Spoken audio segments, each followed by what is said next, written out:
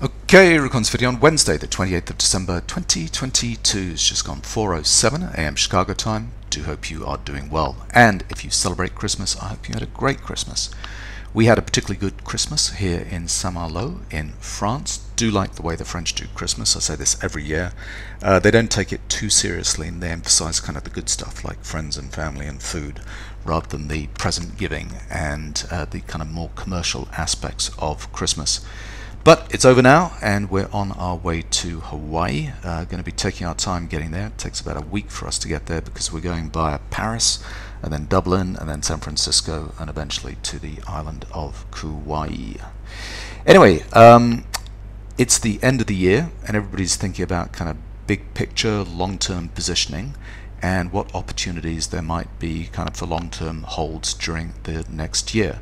Last week, I put up a uh, very well received video got double the normal uh, kind of views I get on a video which is which was a reaction video to the Felix Zulauf interview where he was talking about the opportunities in long-term bonds and the TLT ETF this week uh, there was a very good interview on the Jay Martin show with Milton Berg where he's talking about the opportunity in equities and particularly Chinese equities. Milton Berg, if you don't know the name, very successful. Um, he's kind of heavily technical focused, but he's a macro kind of trader. Uh, and I'd say kind of 70-30 technicals versus fundamentals based on what I've kind of seen and read. He used to work with George Soros and Stanley Druckenmiller so he has extremely good pedigree. And I thought it'd be worth clipping a couple of minutes from the interview on the Jay Martin show, where he's talking about equities versus commodities and then the equities opportunity in China. So here you go. So I'm not a, a I'm not a believer in a, in, in long term in owning commodities for the long term. Again, you want to own for a cycle. Commodities have already already had a nice a nice strong move over the last two years. I don't think commodities in general is a place to invest at this point. Stocks, which have declined dramatically, and with expectations are very, very low in stocks and in, equities, and for example, Chinese stocks in particular, where expectations are very low, that's really where you'd want to be at this time. It's not suggesting that commodities aren't going to move up, you know, if, if inflation continues, but I think the safest bet and the most likely bet is to invest in, in equities uh, at, at, this time rather rather to invest in, in commodities. That's that's our view. Okay, no, that sounds interesting. Now, then coming back to Chinese equities, what sort of implications do you think you know China's reopening will have on those companies? So I think China really is a good bet. Can I guarantee that China will be great for the next 20 years? I certainly can't. I certainly would say that considering the Chinese stock market is down 60%, considering some of the most innovative companies, um, or let's say, let's say some of the most innovative copycat companies are in China, and the fact that China has over a billion people and all these people are coming out of poverty into into a middle class, I think China is a great is a great investment in this time. Whether the whether or not the um, the fact that they're going to make change in the COVID policy, whether that's important or not, it, it's possible. But again, if I make my decisions based on the fundamentals, I'm going to make mistakes because there's so many different ways to interpret fundamentals. If you're going to make the make the decisions based on the actions of the of the, of the asset itself, and based on the historical probabilities of how the asset will continue continue performing based on, on its action, uh, then it's a safe bet. So again, China down 61 percent. Um, it bottomed on, on a cyclical, a very important cyclical day. The Chinese government last March, I think March 15th, said they're going to protect the companies. They have been lowering rates. They, so I, I think China is a very good bet. So there we go, there's Milton Berg on the opportunity that he sees at the moment in Chinese equities. The question is, how do you take advantage of that? Because you've got some single stock kind of options or ETFs that you could trade. Uh, we've got some of the China uh, individual stocks available on the NASDAQ. I think uh, Alibaba is on there, so I'll show you the chart of uh, Alibaba but there are three large China ETFs that you might consider as well. Always go to etfdb.com which is my go-to online source for uh, searching for ETFs. Uh, gives you a really good rundown of uh, the largest ETFs in the space. And when you do that, you find out that there are three uh, China-focused ETFs that you need to kind of look at. One is MCHI, uh, the next one is FXI, and the third one is KWEB. Um, they're all roughly the same kind of size. Uh, MCHI is the largest. Uh, but the other two are worth considering as well. And I've just put them on this chart here that you can see the relative performance versus the S&P 500. So this is going back to about 2013 here, and we're looking at a relative strength chart here. Quite easy to set up on TradeStation. You add four different uh, data streams to a chart. This uh, the green is SPY. Uh, for the S&P 500. I'm looking at a weekly chart here, and then we've added three different data streams: MCHI, which is in blue, uh, FXI, which is in yellow, and then KWEB, uh, which is in red. Uh, and we look at this on a relative strength chart. You right click on your chart, you go to style, and you select the percent change chart here, uh, where it puts all three uh, side by side. So the first thing that I found fascinating about this chart is that over a 10 year period, the Chinese equities have basically gone nowhere. We've got a plus 19, a plus 3, and a negative 26 return here with these three different Chinese ETFs.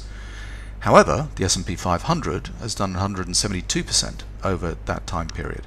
Just extraordinary, given the you know fundamentals and the GDP growth in China over that time period. The stock market has not uh, done as well as the U.S. stock market. Hmm. And then the relative performance of these is all driven by the weightings that we have in each of these three different ETFs. So we got MCHI here in blue, uh, which is the most diversified of uh, the three ETFs. And top to bottom over the peak uh, here in 2021 uh, is down about 60%. Uh, the least uh, kind of volatile of these is the FXI uh, ETF here in yellow. Also down about 60% from the peak, kind of uh, peak to trough, kind of down here. Uh, but it's the least volatile of those, and that's because FXI is heavily weighted towards the finance sector in China. But the big move here in red uh, is KWEB, which is top to bottom down 80% uh, from the peak up here uh, to the trough a couple of uh, weeks ago.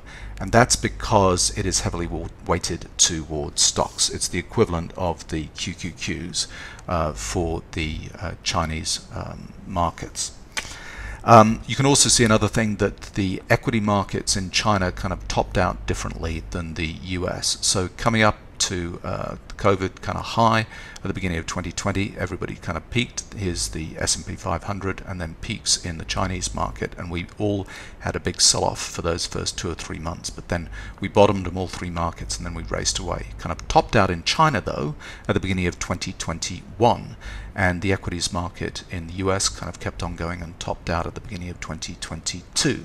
So it's kind of interesting. So we've had a longer and steeper kind of decline uh, in the Chinese markets than we have in the US markets. So the question is, is this going to be the year of the China kind of bounce back in markets? And can we see this in the charts? So I'm going to show you the uh, three ETFs and also Alibaba uh, using our better indicators. First of all, we're going to use the traditional uh, setup of the better indicators where we've got two panels side by side. Left hand side is everything to do with volume. Uh, we've got two volume indicators here. Better momentum below the price bars, which is a volume based momentum indicator. And then on the price bars themselves, we've got Better Pro Am, which is using the average trade size to identify professional and amateur activity. Professionals are in blue and amateurs are in yellow. Then on the right hand side, everything to do with price, and we use better sine wave here, which is the plate of spaghetti below the uh, price bars that is calculating the cyclical activity in three different time frames. And we use those cyclical crosses uh, to give us support and resistance in the three different time frames, and then breaks of support and resistance gives us gives us breaks into trends. And uptrends and strength is shown in red, uh, downtrends and weakness is shown in white. And then the backgrounds are printed grey uh, when the two sets of indicators are both in downtrends, we've got volume and price both in a downtrend, and they're printed in red uh, or a dark uh, shader of red uh, when we've got uptrends in price and volume together. So that's a, the combo indicator beneath, uh, behind the price bars. So the first thing to note is we're still in a downtrend in MCHI. However, some good things kind of gone on here. We have seen exhaustion sell at the beginning of April and a bullish divergence pattern kind of come in here. We kept on going down to the lows here, down into the you know low 40s, and we have had a bounce from there. But not a whole bunch of blue professional bars kind of down here, not a whole bunch of blue professional bars kind of buying the breakout. And so the trailing stop with Better Pro Am has not kind of trailed down yet, and we've not broken up through that. But cyclically, maybe we have kind of done enough damage on the downside. And I talk about the end of trends rippling through the time frames here. We've got some pullback to end of trend on the lowest time frame here that gives us a kind of a left shoulder.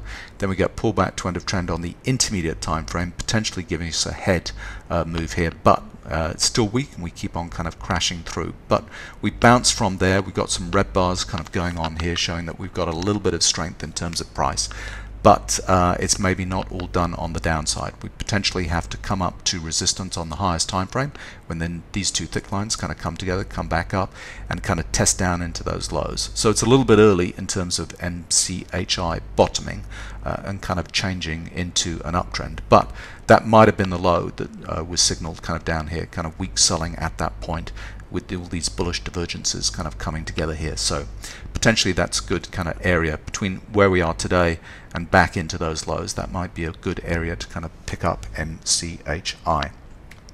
Next one, FXI, which is the less volatile finance-based uh, ETF. Same type of pattern here. You can see here's the blue professional bars kind of coming in at the lows with exhaustion sell signals going on there. Quite a lot of blue professional bars kind of buying this breakout in anticipation of it kind of trending higher, but it kind of goes nowhere. We come back down. But again, at the lows down here, no blue professional bars, no amateur bars in a test and so on. So we don't have a lot of confirmation there.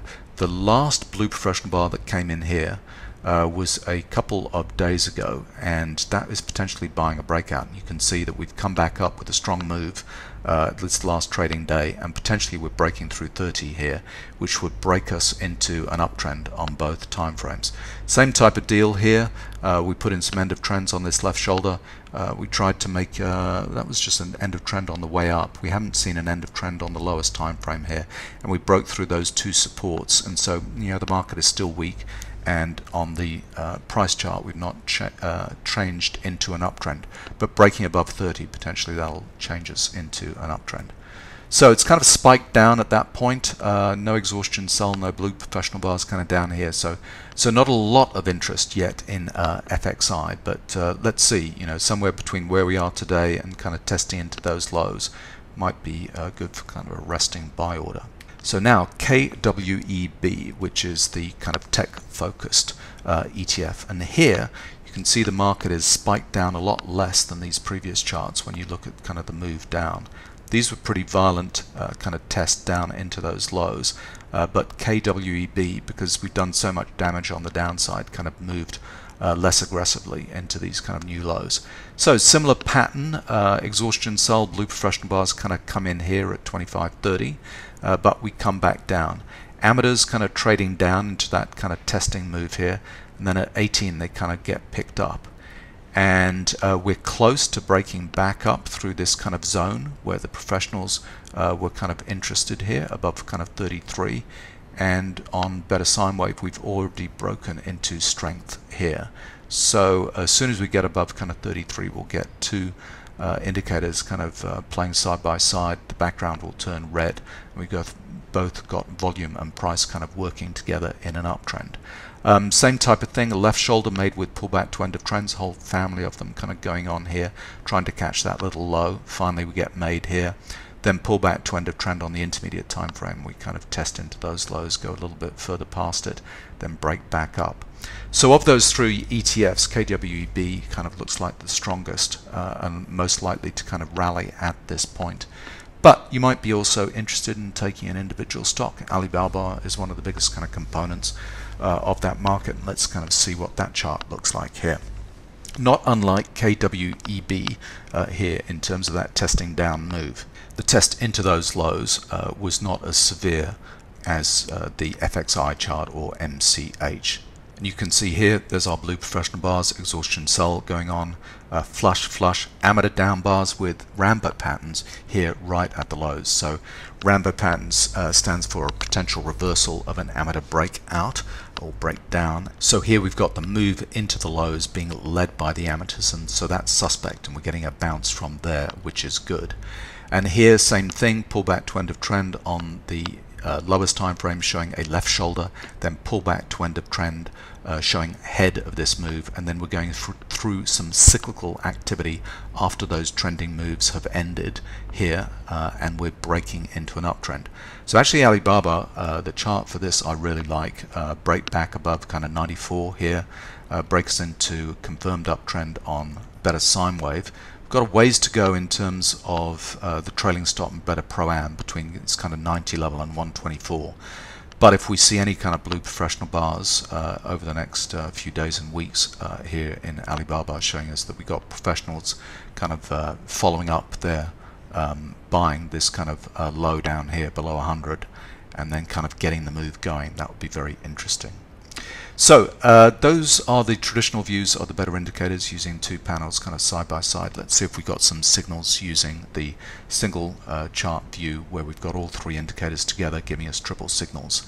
Um, so here the signals are shown with dotted vertical uh, white lines for short trends, uh, short trades, and uh, red lines for long trades. So MCHI, you can see here, kind of uh, topped out last year, 2021, bang into a downtrend. We've got no signals going on, but we've got three things happening.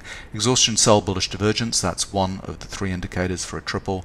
We oversold with a background in red, number two. We just need to break above better pro-am or some blue professional bars to kind of come in on MCHI to uh, give us a triple signal there. So MCHI not signaled uh, yet. Uh, let's look at FXI. Just load that in. Bang. Similar thing. Uh, we've got a sell signal here uh, last year. Bottom down here. Yes, we've got the trailing stop happening here. We've got our exhaustion sell bullish divergence. So that's one, two, and three likely to trigger. Uh, if we get above the 30 level on FXI. But the move in FXI because it's kind of a lower beta uh, type ETF is going to be not as uh, kind of extreme as trading KWEB. So let's look at KWEB type that in, bang, and here we go. We've got some signals happening over the last couple of months. We didn't get a short signal up at the highs um, because this uh, exhaustion sell signal got, got in the way. Uh, we'd had exhaustion buy but no bearish divergence and then we kind of uh, traded this move quickly. Um, we tried to hold here at the 50 level, came back down to the 20s and 30s level here, and there's the blue professional bars, and we're testing into those lows, and then a break back above 33 will give us another uh, kind of, well, it won't give us a signal long because we've already got exhaustion buy bearish divergence in the way here, but that's kind of short covering rally, kind of getting the move going. But above this kind of 30 type level, 35 type level, uh, that would be a confirmed uptrend in KWEB. And then lastly, let's just look at Alibaba and see if we've got some signals happening here. Short signals at uh, 2021, that's kind of a spurious signal there because that was just getting the move going with exhaustion sell at that point. And we're down here at the lows. We got two of two out of three signaling, so we got exhaustion sell bullish divergence. We're oversold with background in red. We just need to get above this level. So what I'd be looking for is another blue professional bar to kind of come in in the next days and weeks for to trail this uh, better pro-am trailing stop down um, to that blue professional bar and then a break above that would show that we're breaking into an uptrend. So there we go. Last week we talked about potential opportunity in TLT, which is not signaled yet, but is kind of lining up in the next few weeks and months.